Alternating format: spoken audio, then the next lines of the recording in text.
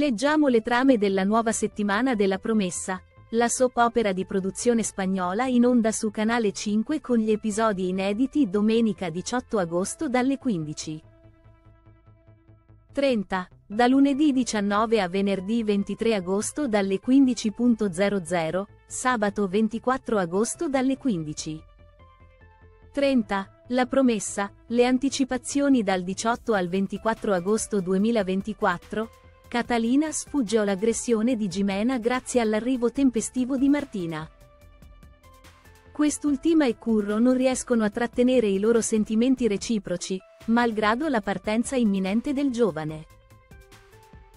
Mentre Catalina e Pelaio accolgono con stupore il signor Cavendish, Cruz informa Petra e Feliciano che sono sotto indagine per la morte del padre. Simona spera in una lettera da Valentin per il figlio Antonino, e Candela la consola. L'incontro con Cavendish inizia bene, ma viene turbato da un'esplosione di Gimena in assenza dei marchesi, causando imbarazzo tra i presenti. Curro decide di non partire per l'Inghilterra, e lo comunica a Martina, la quale lo esorta a non sprecare l'opportunità. Valentin corteggia Maria con un mazzo di fiori. Catalina riferisce ai marchesi dell'accoglienza di Gimena a Cavendish, preoccupandoli.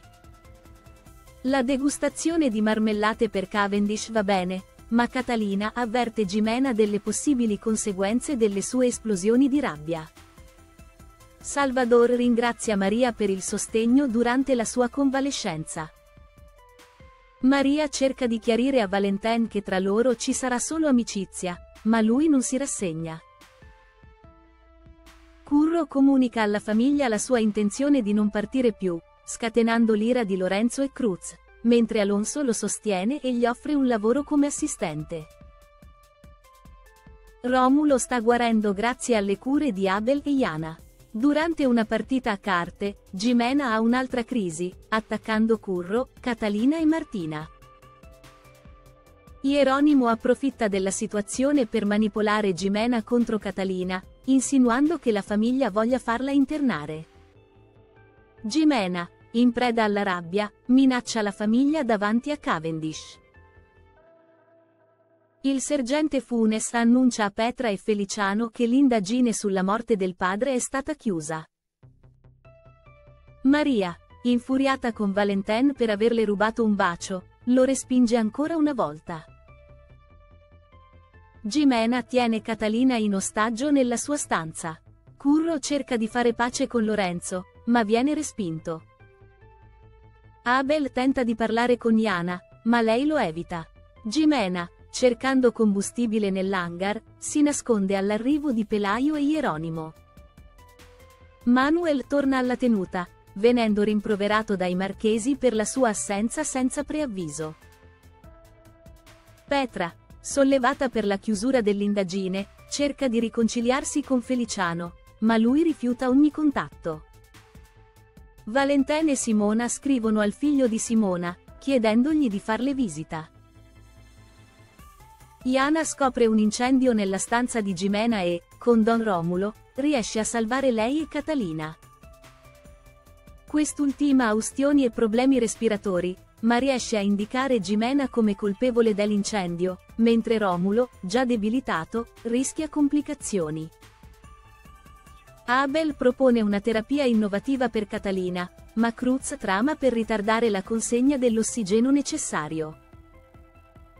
Cavendish è sul punto di interrompere i rapporti con Pelaio e Ieronimo, ma il conte lo convince a rimanere. Lorenzo intende far arruolare Curro nell'esercito.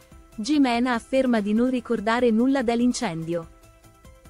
I duchi dello Sinfant arrivano alla promessa, convinti che Gimena abbia avuto un esaurimento nervoso.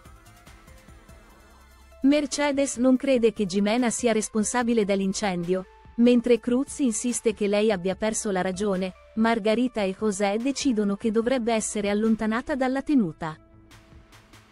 Petra confessa a Feliciano il motivo per cui è stata costretta a farlo passare per il figlio dei suoi genitori, causando la sua rabbia per essere stato ingannato.